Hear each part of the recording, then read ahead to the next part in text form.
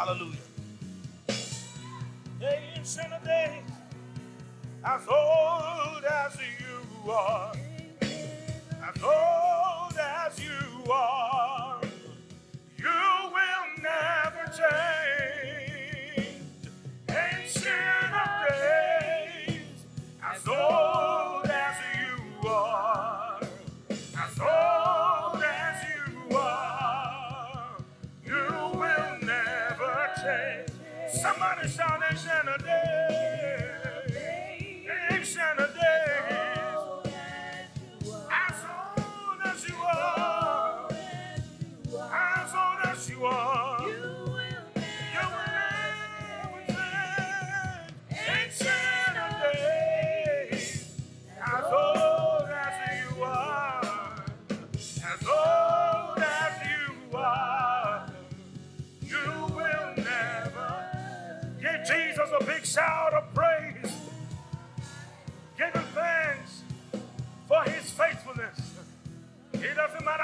much time has passed, he remains the same.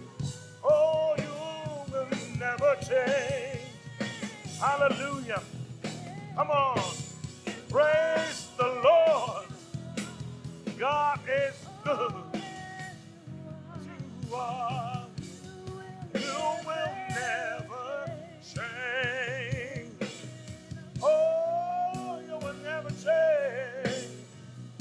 Father, we worship your holy name. We magnify you. We bless you, Lord, for you are holy. And forever you are God. Oh, as old as you are, as old as you are, you will never change. Praise the Lord. Hallelujah. I don't know if y'all had one more song. That was it? Okay, praise the Lord. God bless you. You may be seated. God is good. All righty, why don't we just go ahead and be seated, everybody? Let's let's um let us all be seated. Come on, somebody. Praise, praise, praise God, praise God, praise, praise the Lord. Ah, come on. I think we need to um, kick off tonight with a little bit of reading. Oh, yes, let's do a little bit of reading. So, if you would come with me to Matthew chapter 7, Matthew 7, and we are going to read 4 through 7. The gospel according to our brother Matthew. Verse 4, chapter 7, verse 4. And we'll try to stop reading before we get to verse 14 because we don't want Patricia to have any bones to pick with us. Matthew chapter 7, verse 4, the Bible says, Or how can you say to your brother, Let me remove the speck from your eye? And look, a plank is in your own eye. Woo, praise the Lord. This was the Lord Jesus. So if you have a Bible that was not made in some basement, it should have this written in red. Okay? And it says once again, um, in fact, let me read verse 3 just for Manuelita's sake. The Bible says, Jesus speaking, why do you look at the speck in your brother's eyes? You see, because if you look, you will always find something. So Jesus is saying, Why? What are you looking for? Why do you look? So let, us continue reading verse 5. Verse 4 again, or, or, or, how can you say to your brother, Let me remove the speck from your eye, and look, a plank is in your own eye?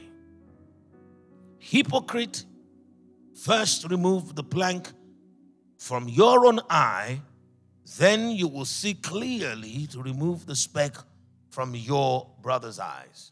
Now, let me explain something, you know, because I know there are people here or watching online who may have studied the writings of the Apostle Paul, and you've read you know, later on in the New Testament, wherein it says that there is no temptation that is upon one that is not common to all.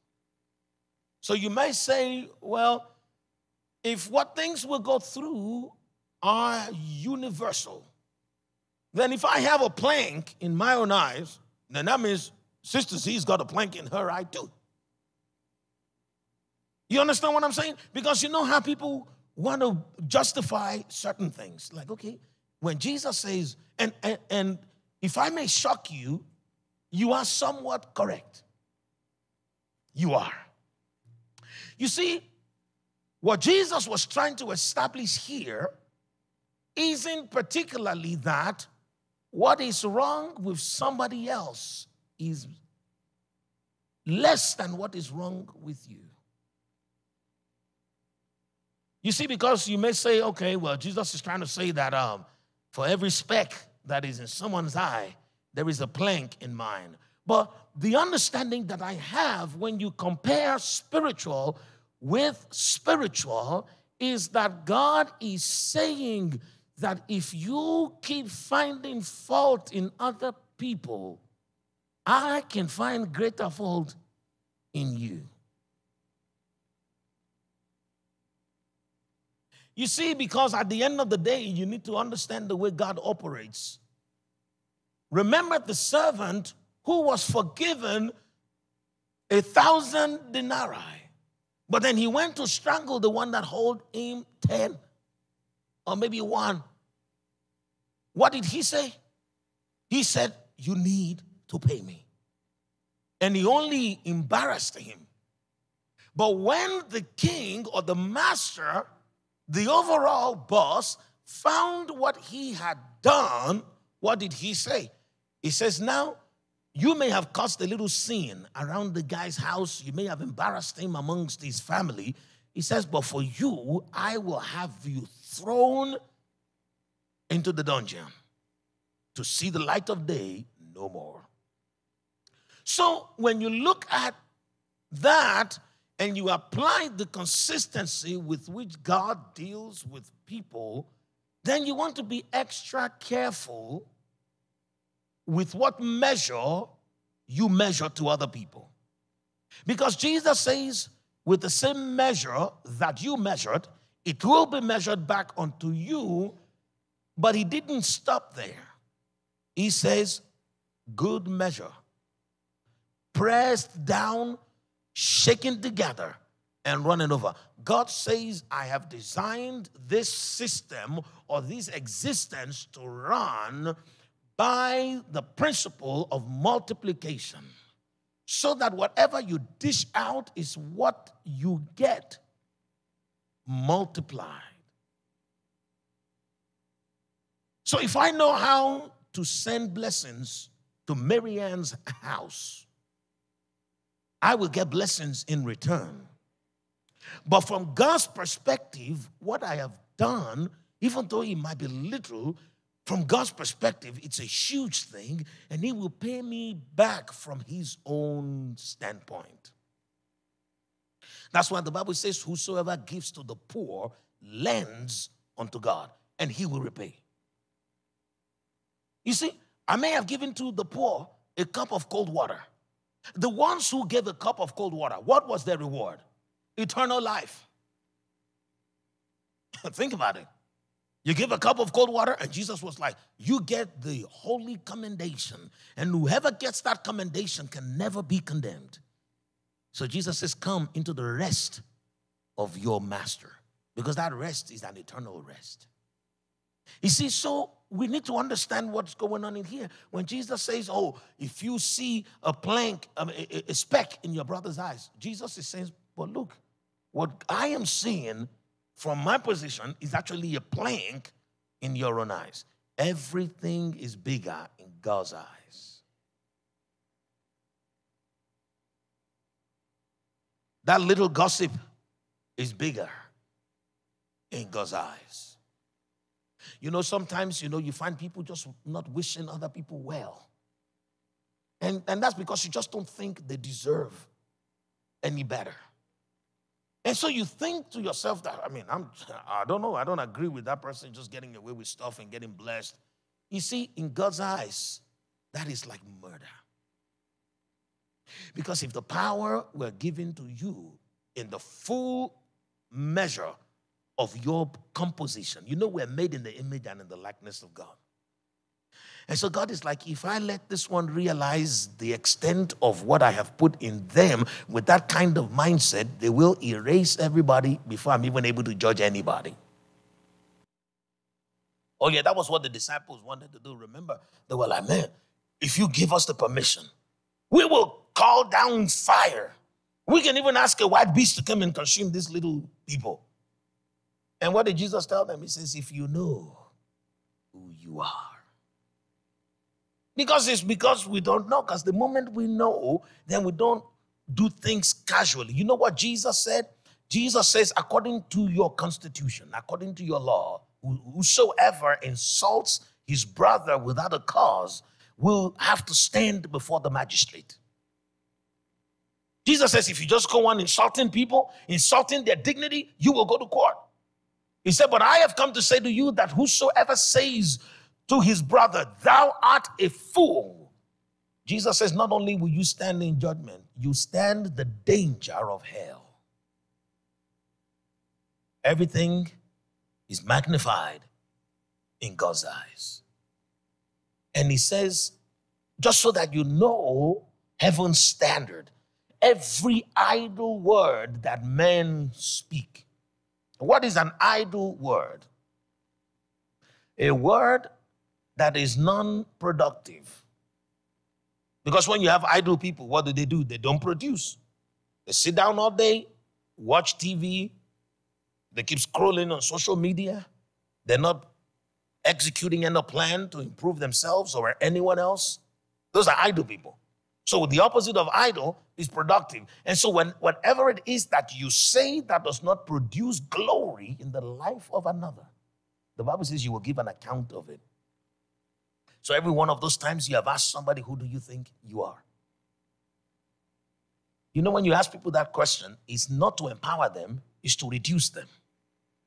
You don't go to people saying, Well, happy birthday. So who do you think you are? No. You can say, Oh, how, how old are you?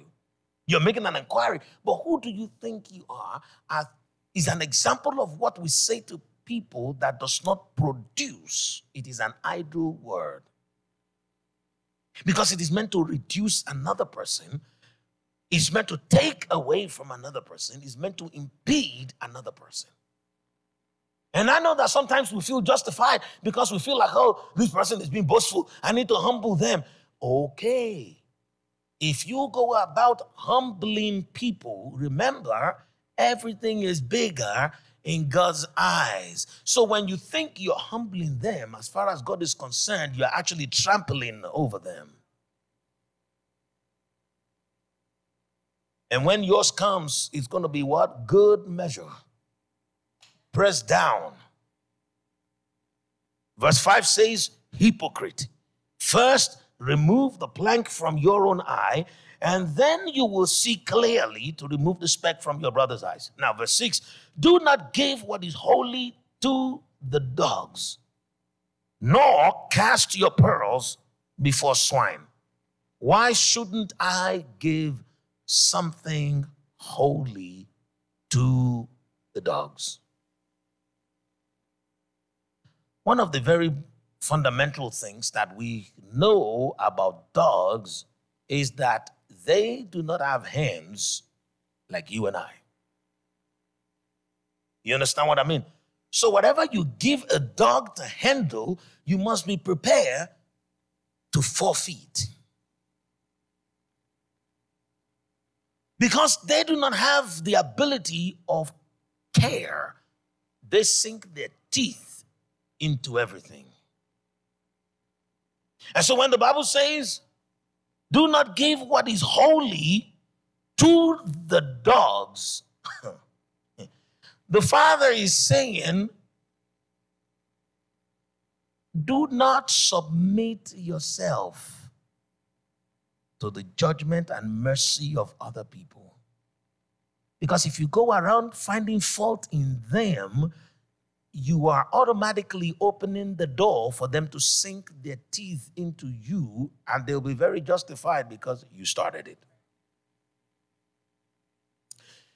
When you pull a dog's tail, what does he do?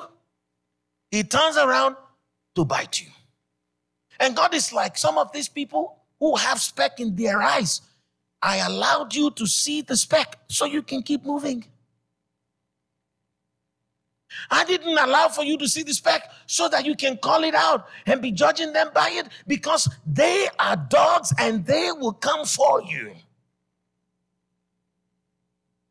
You know, we can correct people who in you see you, you don't you don't just hand correction out.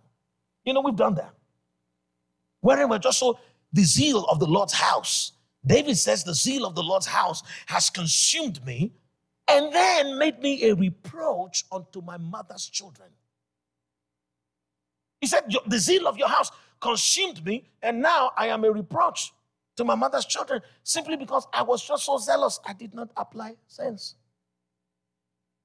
Zeal without discretion makes you a trained dog, but you're still a dog.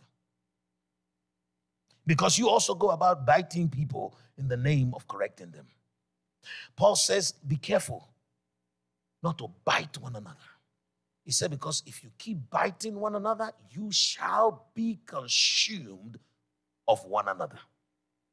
Because if we all we do all day is not develop the ability to handle things with care, we will end up consuming one another.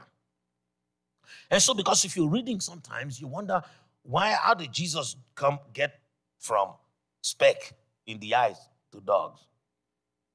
Could he not just have drawn the line and say, okay, now, next chapter? He was literally in the same breath as he was saying it. And what he was telling them was this He says, Do not give what is holy to the dogs, nor cast your pearls before swine, lest they trample them under their feet and turn and tear you in pieces. Like I said, we used to just hand out correction. But there are certain times wherein you don't hand out correction until you have made sure that there is room for acceptance. You understand what I'm saying? Because we are so zealous. We want to correct that other person. But what does the Bible say? The Bible says that as a crown is fitting for the head of a king, so are mighty blows for the mouth of a fool. And let's chew on that for a moment. The Bible says God recommends that a king should have a crown. That's why the Bible says that Jesus has crowns upon crowns. Jesus' crowns are crowns upon crowns upon crowns upon crowns, simply because he's the head of all principalities and power. So he has a crown for every domain. That's what it means, because you can't be the king of kings if you don't have the crown for that particular domain. And so when you see him, as far as your eyes can see, if you can see, the crowns continue to infinity. And that is the reason why no one can sit above him. You see, we know that a crown is fitting for the head of a fool. And the Bible says, just as that is fitting, so are not just soft blows, but mighty blows for the mouth of a fool. Because there are certain prescriptions that come from God that we think we can do better than. You know, when God is telling us, this is how I want you to do things, you're like, oh God, I'm nicer than you. And you know, whenever you try to tell God that you are a nicer person than Him, He tells you to knock yourself out. Because He will still be God when you learn and come back. To say, wow, you could have told me. And He said, uh, I did. In fact, I even wrote it down. You understand what I mean? And so we need to be we need to apply discretion together with discernment. And the reason why these things are important is because a lot of us, our journey and relationship with our Heavenly Father is impeded by our relationship with other people. Remember on Saturday, we were talking about being able to approach God as a heavenly father. And how many people struggle with approaching God as a heavenly father because the earthly fathers they know have done nothing but let them down again and again. And so they project the image of the failures that they have seen to that of the heavenly father. So they would rather come to God as a boss. You know, when you go to a boss, you just want to do your work, get their approval, you want to impress them, you want to make sure that you're in their good books. And so everything is based on your works. But with your Heavenly Father, everything should be based on His love. Because adequate understanding of the love of God and acceptance thereof is what actually motivates good works. God is not expecting works from us, He's only expecting good works. And your works can only be good if they are inspired in His love. Does it make sense? And so I, I don't need to go to him as a boss. But some of us, that's what we do. Why? Because of the failure that we have experienced in our relationship with human beings. Now, the Bible says, follow peace with all men and holiness, without which no man shall see God. What is holiness? You know, because quite often we think that holiness is sinlessness. We think that holiness is sanctification. Sanctification is different from holiness. You wouldn't see in the Bible wherein it is said, Oh, sanctified, sanctified, thou art sanctified. But you will see holy, holy, holy. Holiness refers to the perfection of character. When we say God is the most holy, it means He is one whose character has no blemish.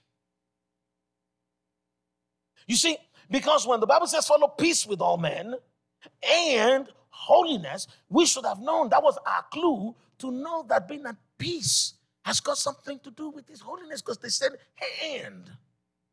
And so being at peace with all men needs to be coupled with having a godly character. And to have a godly character means to do things like God does things, to have God's reaction to things. You know, when you think about God's character, you think about what is a person's character. A person's character is usually a reflection of their disposition to life and to things.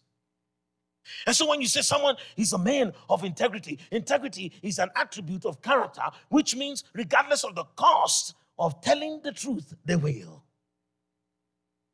Even if you would take their head and place it on a platter and cut it off, they would not tell a fib.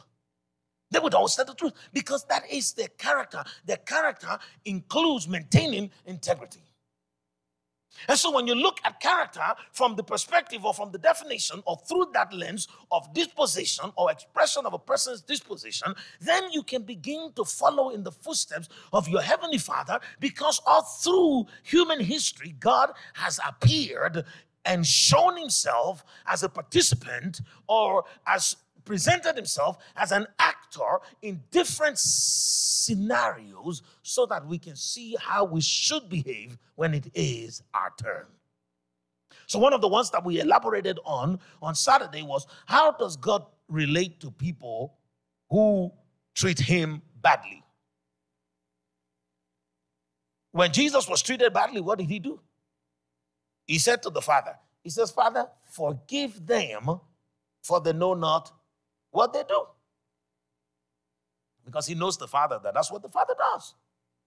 And so we were supposed to take note of that so that when people wrong us, we don't immediately jump to judgment. You see, God saved the judgment of the sins of the world, He saved it for the end of the world.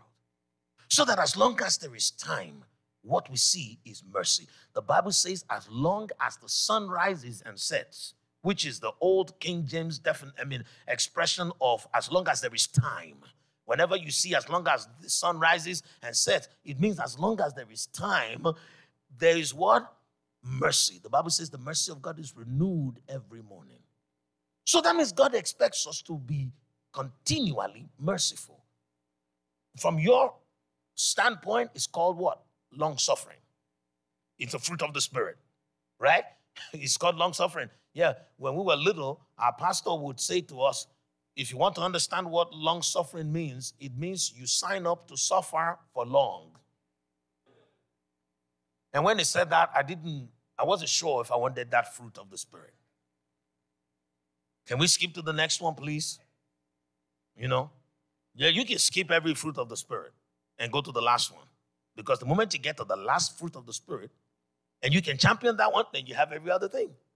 Because God knows us, He knows we like to pick and choose. And so you're like, yeah, this love, long suffering. I don't know. This patience. Have you have you seen Josephine? I don't know. You know, you keep saying all of these things, and then when you get to self-control, then what does that tell you? You see, we're talking about the, the character of God. I mean, you think God doesn't have self-control? God is self-control personified. Because the Bible says that if the Lord should regard iniquity, none shall stand. You know, the Bible says, let everything that has breath praise the Lord. Iniquity or sin is to disobey the order of God. And the cells in your body, they breathe.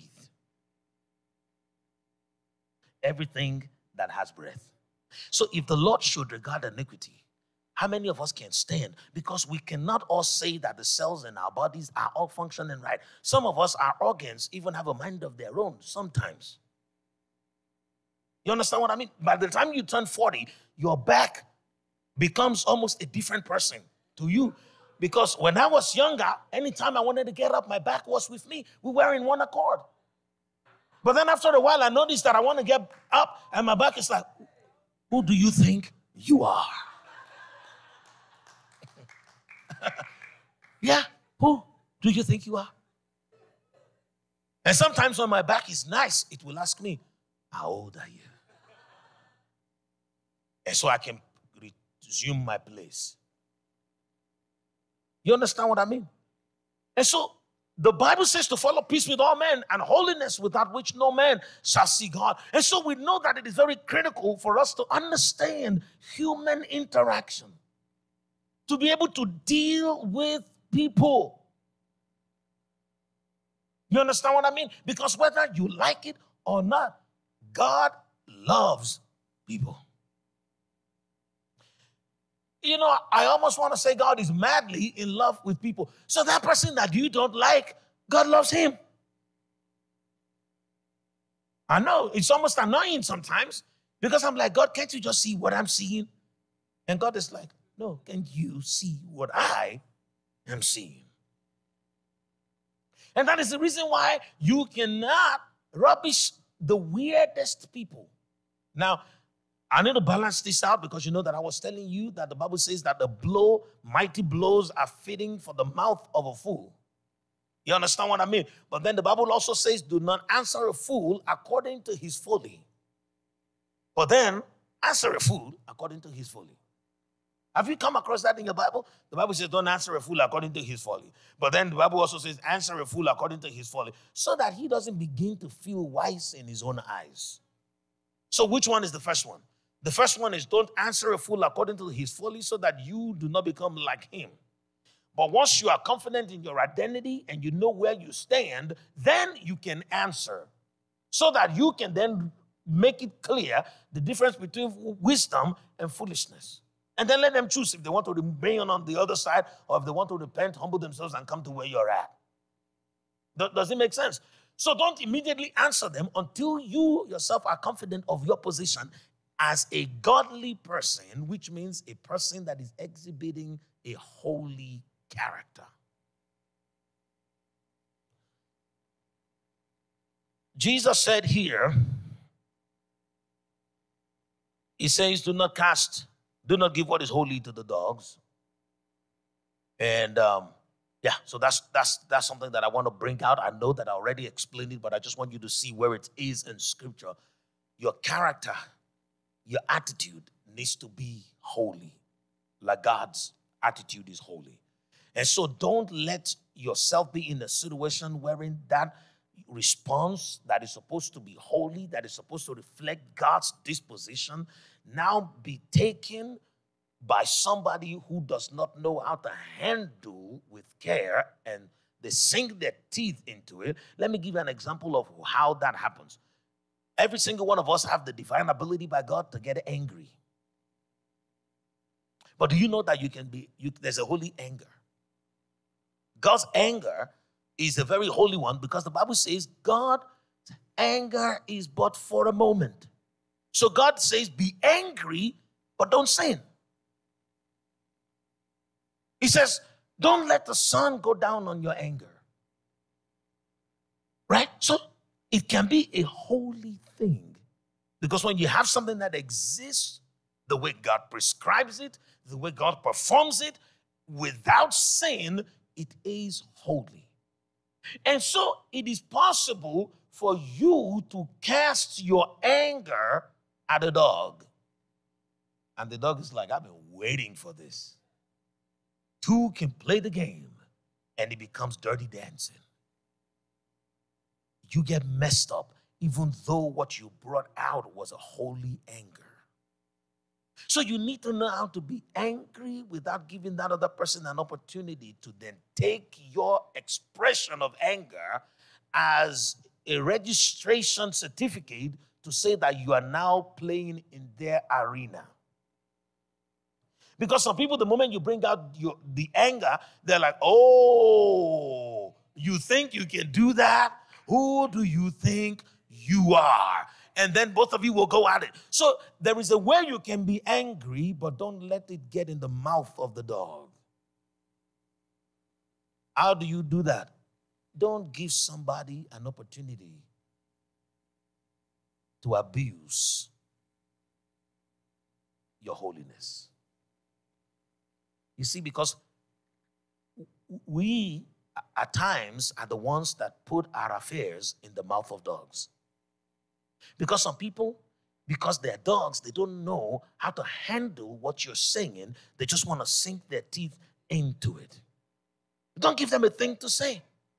They already know that they are wrong as wrong itself. But they're waiting for just that one thing that you will say. And then they become vindicated. They're like, they will say things like, Oh, I was willing to take everything until you said that.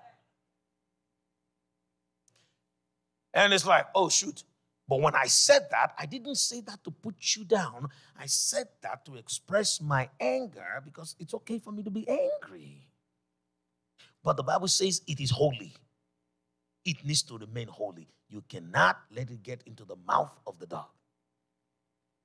That is one thing. But some people are not dogs, some people are pigs. And the Bible says, don't cast your pearl before swine. Why is that? You need to observe what people do with what you have given. The last time I gave you an advice, what did you do with it? The last time I gave you a compliment, what did you do with it? The last time I shared my heart with you, what did you do with it? If you keep taking precious things into the mud, then the next time you come, you ain't getting no pearls from me. Because pearls are precious. They are born out of my pain, out of my experiences, out of the dealings of heaven with me. I'm not just going to be casting my pearls at you every time. You did nothing with the last one but bury it in the mud. You want to play dirty with holy things? Then I'm not playing with you. Because some people are not dogs. Sometimes the dogs are better. Because they will sink their teeth into it, and then you know, okay, I'm not going to put my shoe here again because this dog is going to get it.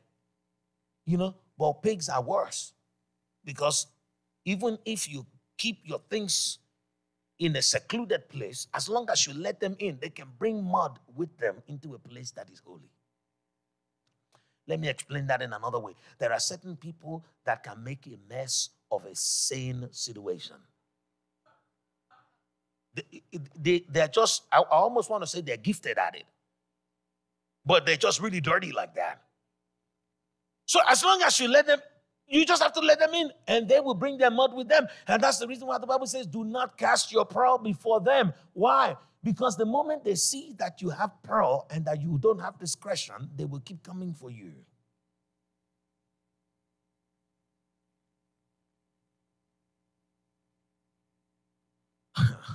Praise the Lord. You see, and why are these things important? Because our Heavenly Father wants us to be holy as He is holy. The Bible says, No man in his dealings with God can find fault with the Most High. In the wisdom of Elihu, he said, Who amongst you has ever corrected God? He was talking to his to Job's friends.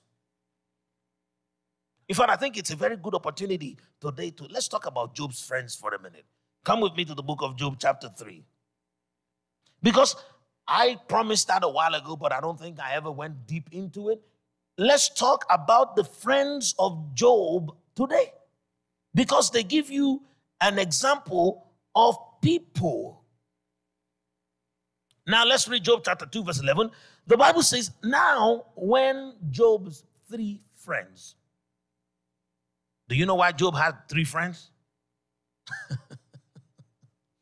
I'll give you three reasons. There are four directions that you can go in life. It's either you go to the north, to the east, to the west, or to the south.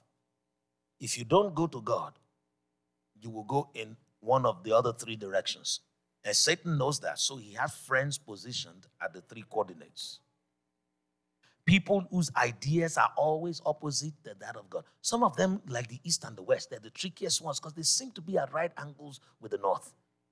But they will still take you to places unknown. Three friends. Another reason why Job had to have three friends is because, from God's perspective, there are typically three types of righteous men. And so you had to have three types of unrighteous men. Who are the three types of righteous men? Charles, give me one of them. Aha, you're going to do like 50 push ups after service today. You know, when the Bible was talking about the righteousness that men can exhibit on their own, apart from the righteousness of the one who came from the north, the righteousness of Christ, we have the righteousness of Noah. We have the righteousness of who? Noah, the righteousness of Job, and the righteousness of Daniel. So the, you have the righteousness of the one who never gives up on God, the righteousness of the one who rests confident in God at all times, and the righteousness of one who will not accept any other verdict except God's verdict. Job means hated. He was hated, but he didn't curse God. Noah means rest. He was troubled, but he didn't drown in the cares, in the flood. And then you have Daniel, who says, The Lord is my judge. It doesn't matter what the doctors say the Lord's verdict is all that I care about. It doesn't matter what my bank account is saying, but the Lord says that I will not borrow, but I will lend unto nations. And so you see those three men, right? You will find the, uh, the other side of that in these other guys. And it's good to be familiar with the friends of Job because these are the same friends that we have. You know why? Because you are Job. Not everyone is saying amen. Ooh, shaka boomba. oh, shaka shaka boomba. You see, Jesus said, You are Job. He says, As they have hated me, they will hate you. And he told his disciples, He says, and I say that with a guarantee. He says it's guaranteed. He says, What they have done to me, they will do to you. And when the apostles came, they actually saw that it was a privilege to be hated by the world because they understood that to be friends with God, you have to be. Come on. The Bible says friendship with the world is enmity against God. So, have I not been teaching you to read from right to left and left to right? Which means friendship with God is enmity against the world. And so, the fact that they hate you is a privilege. It allows for there to be always a clear distinction between you and them. Because woe are you if they embrace you into their company. Why? Because the Bible says the companionship of fools shall be destroyed. So I'm happy they have not welcomed me into their company, so that when their destruction comes, only with my eyes will I behold the reward of the wicked. It's not a bad thing, after all, to be hated by the world. If anything, I thought you should strive for it. Not my recommendations, the word. Praise the Lord. Now let us keep reading. And um, Job chapter 2, verse 11. I'm going to read it here and here. In case you didn't, you missed the memo, Job means to be hated. In case you're wondering, where is this man coming from? I'm not coming from, um, anyway, that's what it means. Praise the Lord. Where's my Job? Um, yeah, my Bible has, this Bible has about a third, if not a quarter of its volume as study materials. And so sometimes when you think you're opening the middle of the Bible, you're really still in Esther. I know. Okay, so Job. Job is an interesting book. Yeah, uh, I used to read it a lot. Okay, so where is where are we? 211. The Bible says, Now, when Job's three friends heard of all of his adversity, you know, we can keep talking about all these things. It's like this is like a gift that keeps giving. There are some people that will never hear when God is doing good things in your midst. Some people will never come to see you and say, I heard somebody got healed at one of your meetings. No, they would only slide into your DM to say, "Oh my, I'm really sorry. There's this thing going on, going around that I just heard." How come you only hear of adversity? Anybody who comes and they only hear bad things about you, they are from the west, from the east, from the south, but they are not from the northern city of the great king. Do not give them a time of your day. You see, these boys did not come when Job was said to be the wealthiest man in the East. Where were they when God was boasting of his confidence in Job? Let me explain that. You see, because when the Holy Spirit dropped that in my spirit, whoa, I loved it. God was confident. God was expressing what? His confidence in Job. John, let me use you as an example. You see, no, the same John. Let me use you as an example. No, no, stand up. That's what I mean. Oh, yeah, yeah. Please come and stay here. Alrighty. So, in fact, I think anybody past that thing will not be seen. So come right here where you can be seen. God is good. So you can stay right there. So I want you to do something. I want you to, don't worry, it's got sweat on it, but it's okay. Yeah, I, I had to give the disclaimer. So this thing is my handkerchief. Put it in your pocket. Has it become his? Uh, no, no, because I didn't give him. I just said put it in your pocket. I didn't say happy birthday, that's your Christmas present or birthday present.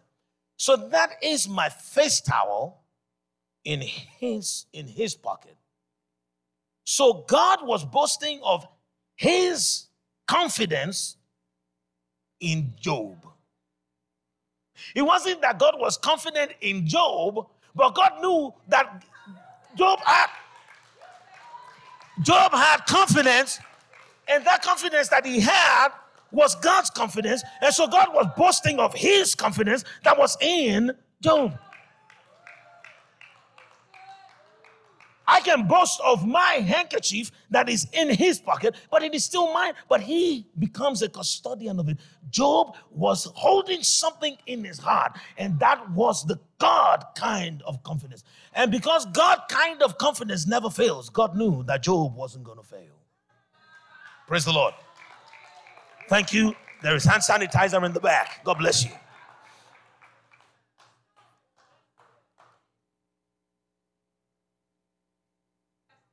That is the reason why when Jesus told Peter, thank you, man, leader. I just need a few more man leaders in my life, and I'll be walking on water even before I know it. She'll be the one telling me, Pastor, did you know you crossed here on water? Yeah, praise God. Jesus, oh come on. Anyway, let's let's let's uh, let's let's come back here. Peter, he said, Lord, increase our faith. Let me tell you something everything that you need to make it in life cannot be your own, it has to be God's. So the love with which you love your spouse, your friends, and your children cannot be one that is concocted in this earthen vessel. It has to be one that is gifted to these earthen vessels. Because if it is if it originates from here, it has an expiration.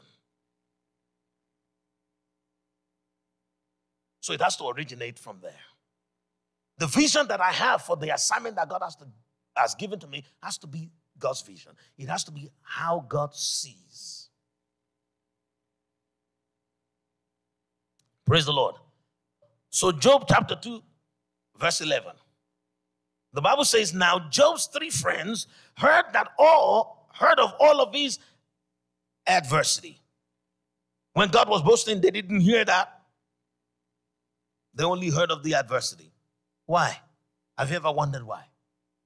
You see, because the Bible says seek. Let me let me do you a favor. See that Matthew 7 that we read. What did I tell you?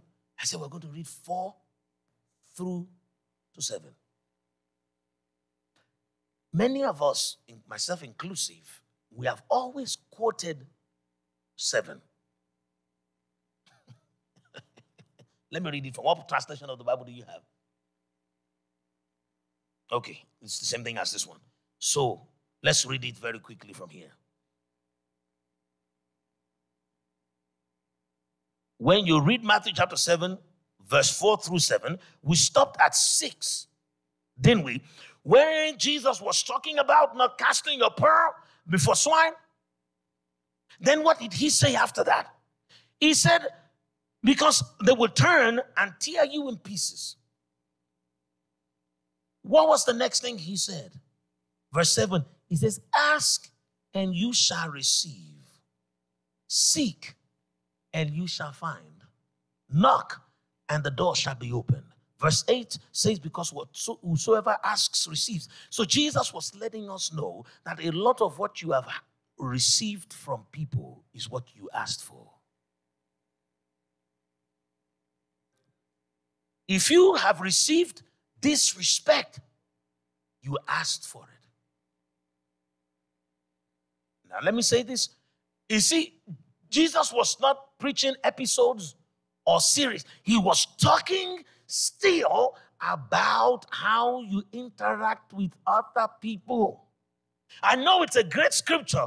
I've even preached some of my most enjoyable messages from Matthew 7 7, talking about exactly how we unravel the secrets of life and how we receive direction for, for, for progressing toward the fulfillment of destiny. But the reality of it was that when Jesus was delivering this expose, he was talking about the fact that you need to be careful what you give out to people because some of them are dogs, some of them are swine, but in all, just know that whatsoever you receive is what you ask for. Whatever you find in people is what you're seeking. If I keep finding fault in people, then that means I was seeking fault in people. I cannot find what I am not seeking.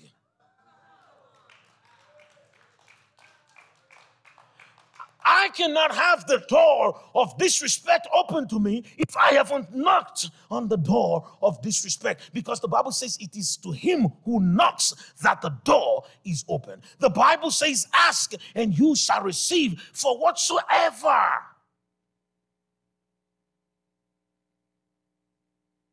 Everyone who receives asks for something.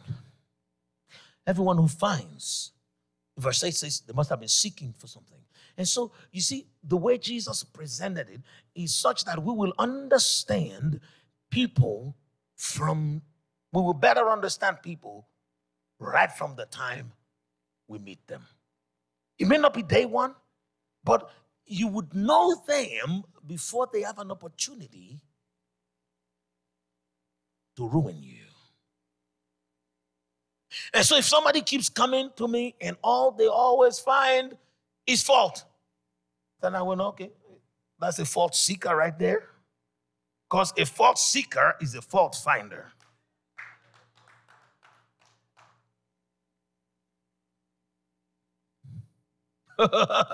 you see, there are certain times wherein some people bring abuse, even though you haven't asked for it.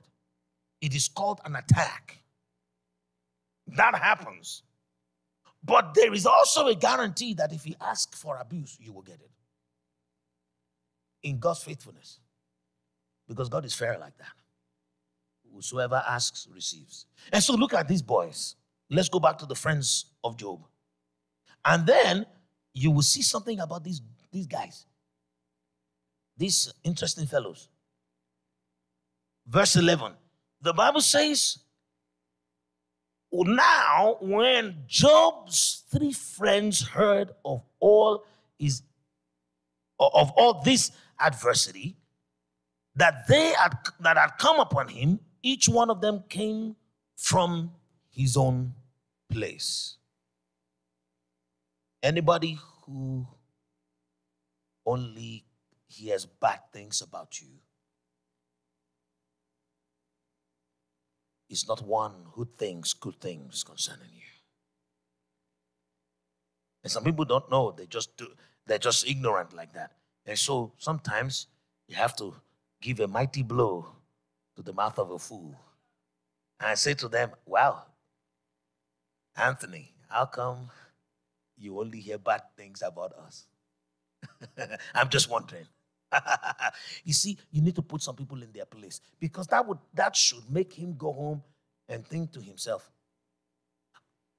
Forget what they say. When you challenge people like that, you know what they always say. Oh, they're like, well, it's not my fault. Bad news travels fast. Oh, yeah, bad news travels fast to people going nowhere. Oh, yeah, that's what happens. Do you know the people who receive the most bad news in the world?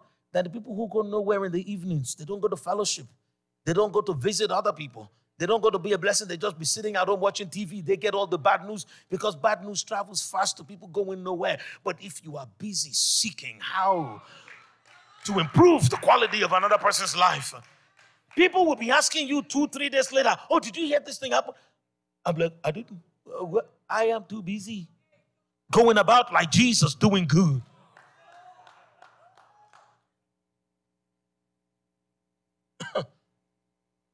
You see, if you have if you have nowhere you're going, when when Lazarus was sick, Jesus was two days journeying away from bad news. Two days journeying away. But of course, some people they take it upon themselves to find you with bad news. And Jesus neutralized the bad news because before they got to where they were going, the men had died. And, you know, Jesus gave us another example of what you do, even if you have to break news that is not so pleasant. Jesus said to his disciples, Oh, Lazarus is asleep. Whereas he died. If it was some of us, we will exaggerate what happened. We will say things that, like, you know, the last time we were with Lazarus, Mary, and Martha, all three of them ate from the same bowl. I wonder if whatever killed Lazarus by now hasn't killed Mary and Martha. And everyone is going to be like, oh my word. And then the person, you know, you said perhaps. And then the Thomas that hears you will go and tell somebody, do you know that everyone in Bethsaida is dead now? Because they all went to Lazarus' house and he got the virus and everybody got it and they're all dead. In fact, when was the last time you went to Bethsaida? In the last one week, oh, you need to get yourself checked. You need to be quarantined.